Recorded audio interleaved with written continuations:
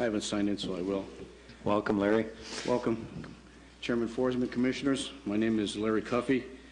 I'm the uh, Secretary Treasurer and Executive Board Member for the St. Louis County Deputy Sheriff's Association. I'm also on the Legislative Delegate Board for the Minnesota Police and Peace Officers Association. And I'm not here to uh, talk about contract negotiations in itself because I know that's not the proper method in which, in the, in the proper form in which I need to address this issue. However, we just went through a lengthy uh, contract negotiations, which unfortunately ended up in an arbitration process.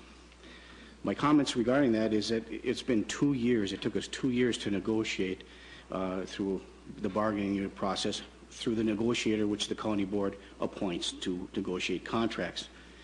And I realize there's hard-nosed negotiations, and I realize there's give and take, and there's disagreements and agreements. I've been negotiating contracts as a labor representative for 27 of my 31 years in law enforcement. I worked in four different departments where I served as the president of the association, all the way down to the secretary treasurer on the negotiating committee. And I just want to say that this is the first uh, place that I've had the honor to serve a group of hardworking labor officers, deputy sheriffs, and sergeants where the negotiation process has been, the behavior has been unconscionable, in my opinion.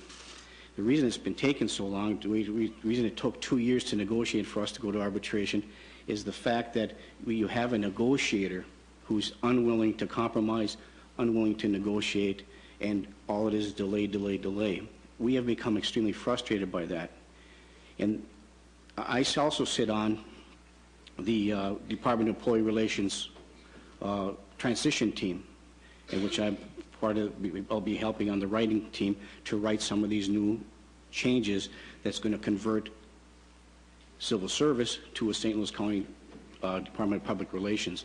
And during those meetings, which goes on those meetings, is supposed to stay in those meetings, but the gist of our, our, the county board's uh, direction, what you want to do is you want to go to the Department of Employee Relations, and we're working hard to try to meet that end. And the law has to be changed, the legislation has to change in order for that to be done. We're not opposed to looking at what needs to be changed, but part of that process is to be able to show uh, some moving forward by taking some of the antiquated civil service rules, moving into, into the modern era, and providing, you know, a, a, a working environment for all employees. But we're using that process as opposed to what we've experienced these last two years. You know, it's one, it's, it's one side against the other. You know, it's almost like talking out both sides of the mouth.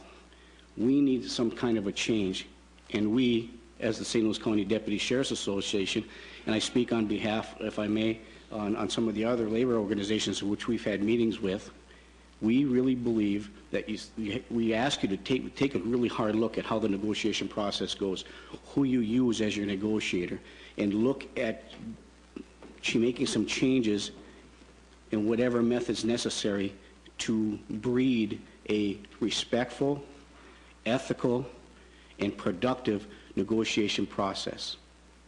And with that, I'll conclude. Thank you. Thank you very much for that, Larry. And I, I do believe that with new people in, uh, in, and, and uh, the change from civil service, that some of these things and, uh, and, and a change on the board, uh, it's, uh, that things may change there. We hope so. Thank you. Yeah.